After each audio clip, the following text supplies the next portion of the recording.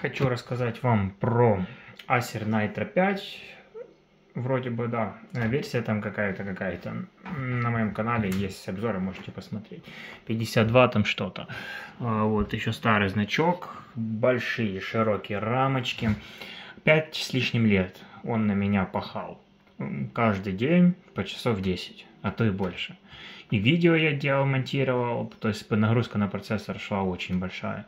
И он все это выдержал. Игры я практически не играл. Были моменты, когда подыгрывал, но очень мало. Вообще не играю в них. Э, анимации делал, 3D, 2D. Э, по часовые час-два часа ролики делал, там, знаете, костер горит, все такое, анимации тоже создавал рендерился он там очень долго, тоже такие были сложные проекты по 5 часов. За 5 лет все было. YouTube вел три канала, э, менял термопасту несколько раз, последний раз я уже сам ее менял. Э, видим, при включенных браузерах, процессорах, тут по каждом браузере миллион вкладок, в принципе держит температуру шикарно раз в два года меняю термопасту. Вентиляторы я поменял, то есть тут слабые места за 5 лет, ну, они реально меня хорошо пахали. Пахали, когда рендерировалось тяжелое видео, вот так. Слышите звучок, да? Вот, нагружал их хорошо. Это час, два, три часа. Было вообще три часа подряд так пахали. Несколько раз, много раз. Ну, не знаю, много я проектов таких сделал. Э, и что сказать? Сейчас он без БТ, без зарядочки работает уже с двух часов. Э, но поменял два вентилятора, бы шумели, я не знаю, какой шумел, я сразу два поменял. Поменял э, батарею, новую поставил. Ну и все, и отдаю его. Что здесь поломано, я сказал тоже клиенту, это контроллер заряда.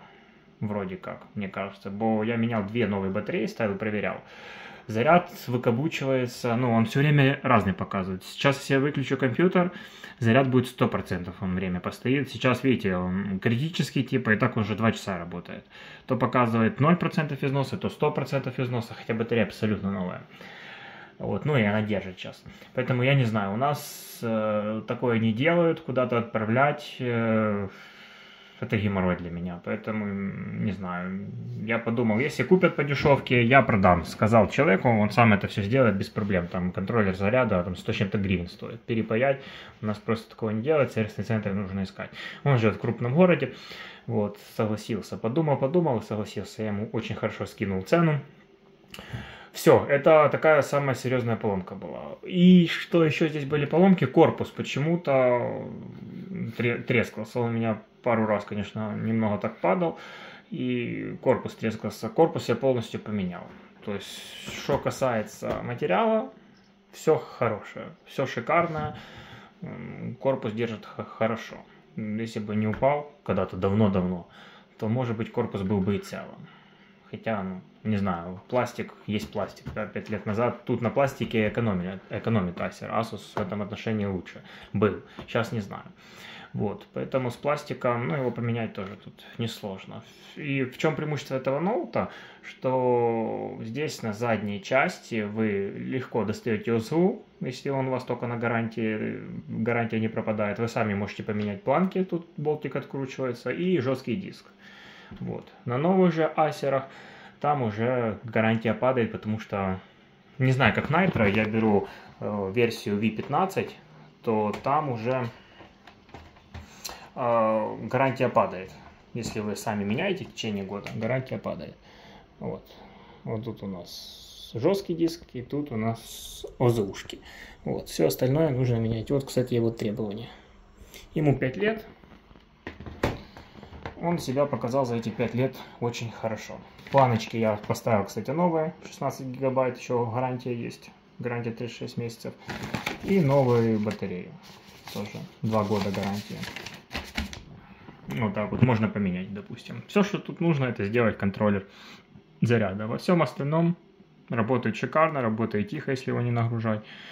32 эм, гигабайта ОЗУ, э, потом 1060 GeForce на 6 гигабайт, Core i7 восьмого поколения, ну уже пятилетний процессор, как бы, но все равно в игрушки на средних настройках, я думаю, можно без проблем играть. и работать тем более. Вот. Единственное, что разобраться с электропитанием.